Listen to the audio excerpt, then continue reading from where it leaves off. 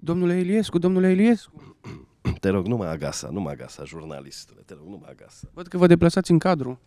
Eu mă deplasez de zeci de ani în cadrul România URSS și retur. Unde vă este garda de corp? Mai animalule, vorbește frumos de doamna Nina. Doamna Nina este acasă, execută niște mici treburi gospodărești de familie. Mă refeream la bodyguards. nu mai sunt atât de notoriu încât să am bodyguards. Nu, nu am notorietatea unei Bianca Drăgușanu, unei Dana Budeanu. Vă place Dana Budeanu? o cunosc din perioada interbelică. Era un fel de spioană, un fel de Matahari. Uh, Smiley s-a căsătorit. Ce spuneți despre asta?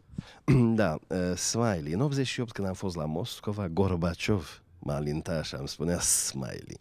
Dar la zâmbet. meu, mă rog, îl spunea în rusă, Ulibca. Prevedea el ce o să fie în decembrie 89, așa că m-a dotat și cu un pistol. Deci de atunci eu eram Smiley cu pistol.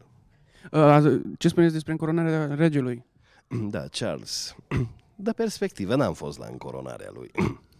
Am fost la încoronarea reginei, Oh, regina Elisabeta? Cleopatra. Era o fetișcană cu nasul pe sus și îi plăcea să se joace Snake. De la șarpii s-a tras totul ca și lui Adam și Eva. Uh, Ce spuneți despre cum toată lumea face grevă?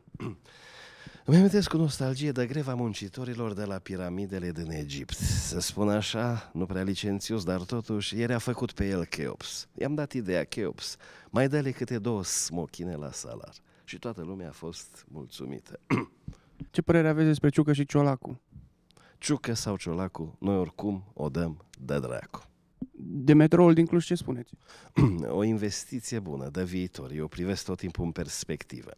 Sper ca în primăvara lui 2223 să fiu invitat la Cluj să dau o tură cu acel metrou. Care este secretul longevității dumneavoastră? Cum spune un uh, tânăr autor modern, este vorba să nu-ți pese de ani, de bani și de dușmani. Despre generația de azi, mileniali, ce aveți de spus? Despre mileniali încă nu mi-am putut forma o opinie. Eu rămân la ceea ce am fost și sunt întotdeauna, un milenar. Uh, Inteligența artificială am auzit că o să ne ia loc într-o bună zi.